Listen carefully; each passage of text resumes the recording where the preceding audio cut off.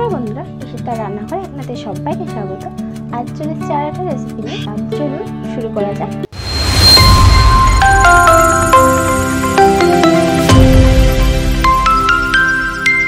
আজকে বানাতে চলেছি একটা নিরামিষ রেসিপি রেসিপিটির নাম হচ্ছে বাদাম পনির ঝিঙে পোস্ত। আমি এখানে নিয়েছি সাড়ে তিনশো গ্রাম কাঁচা বাদাম। সেই বাদামটা আমি ওভারনাইট ভিজিয়ে রেখেছিলাম। তো এটা আমি মিক্সি একটা জারের মধ্যে নিয়ে নিচ্ছি। এই বাদামটা আমি একটা মিহি পেস্ট করে নেব। এর মধ্যে দিয়ে দেব পরিমাণ মতো জল। দেখুন, আমি এখানে একটা খুব সুন্দরভাবে পেস্ট করে নিয়েছি। একটা পাত্রের মধ্যে এটা নামিয়ে নিচ্ছি। এবার এই জারের মধ্যে আমি দিয়ে দিলাম জল। যেহেতু এর মধ্যে একটু আছে তো এটাও বেরিয়ে যাবে একবারে। বাদাম বাটাটার মধ্যে আমি জলটা একেবারে দিয়ে দিলাম। দেখুন, দেখতে কিন্তু একেবারে দুধের মতো হয়ে গেছে। বাদাম দিয়ে খুব সুন্দর কিন্তু দুধ বার করা যায়। এবার এটা আমি মিশিয়ে নিচ্ছি একটা চামচের সাহায্যে ভালোভাবে। এবার এটা আমি ছেঁকে নিতে হবে। এটা এবার আমি ছেঁকে নেব। এই ছেঁকনিটার মধ্যে একটা পরিষ্কার শুকনো আমি কাপড় দিয়ে দিলাম।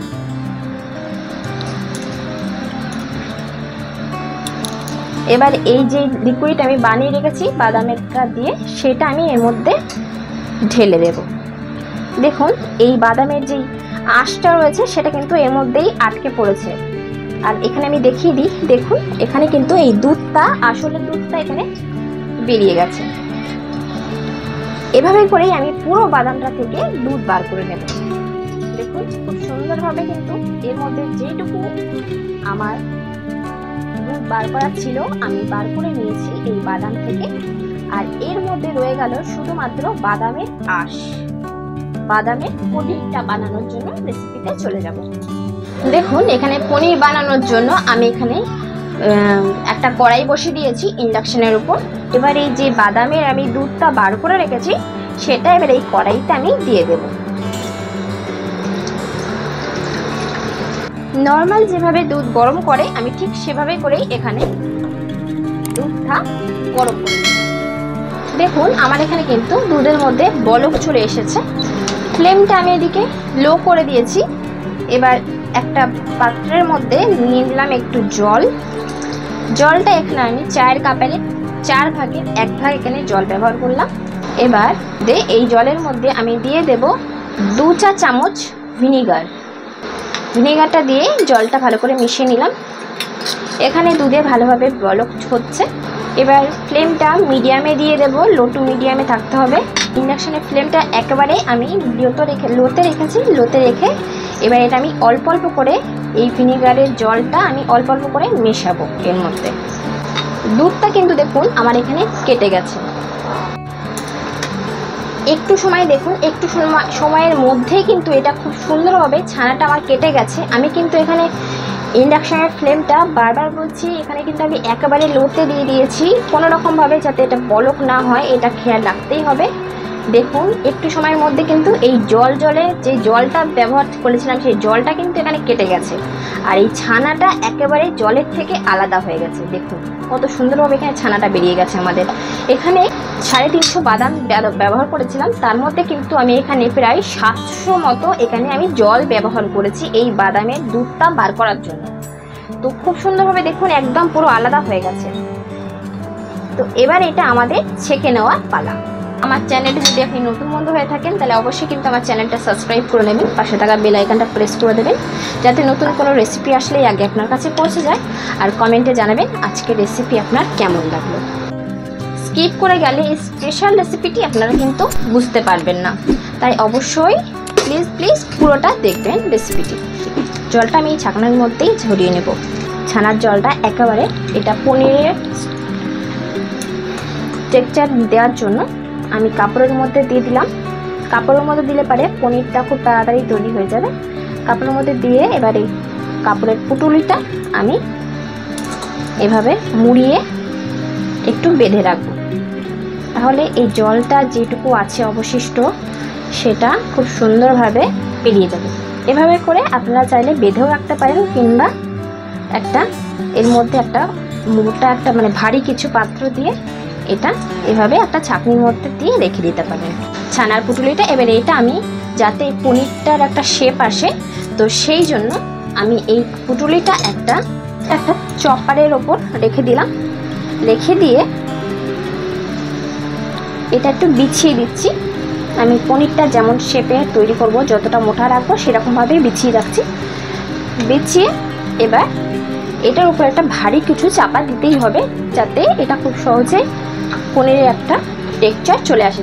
এখানে আধা ঘণ্টা পর আমি এই পিড়িটা তুলে নিলাম পনিরের এই পুটুলির থেকে।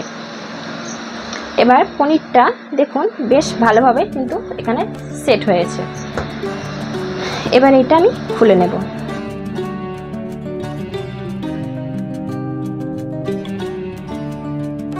দেখুন খুব সুন্দরভাবে এটা আলাদা হয়ে গেছে কাপড়ের থেকে। আর পনিরটা কিন্তু খুব ভালোভাবে আমাদের এখানে সেট হয়ে গেছে। পনিরটা কেটে নেব।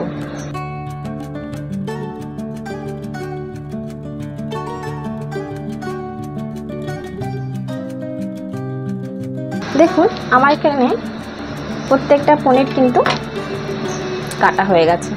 এবার এগুলো আমি প্লেটে তুলে নিলাম।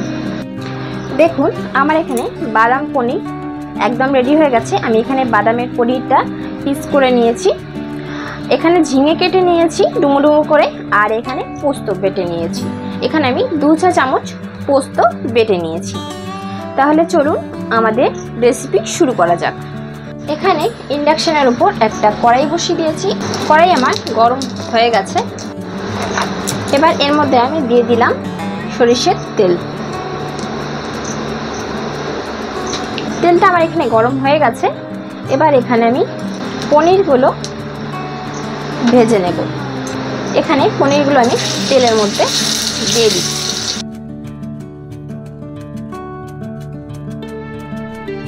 এবার পনিরের মধ্যে একটু হলুদ দিয়ে দেব।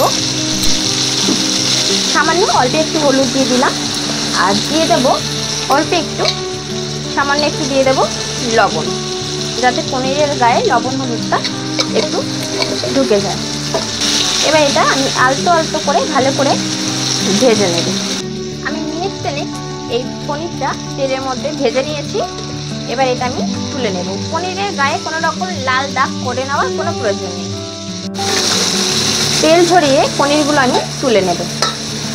আমি সব পনিরগুলো তুলে নিয়েছি। এবার এই একই তেলের মধ্যে আমি দিয়ে দেব কয়েকটা দানা জিরে। এখানে গোটা জিরে দিয়ে দিলাম। তারপর এর মধ্যে দিয়ে দিলাম। এখানে ঝিঙে কেটে রেখেছিলাম, সেই ঝিঙেটা দিয়ে দিলাম। ঝিঙেটা দিয়ে এবার ভালো করে একটু নাড়াচাড়া করে দেবো ঝিঙের মধ্যে দিয়ে দেবো স্বাদ মতো লবণ। আর দিলাম হাফ চামচেরও কম এখানে হলুদ ব্যবহার করছি। হলুদের পরিমাণটা একটু কম ব্যবহার করতে হবে। লবণ হলুদ দিয়ে ঝিঙেটা আমি কিছু সময় ভেজে নেব।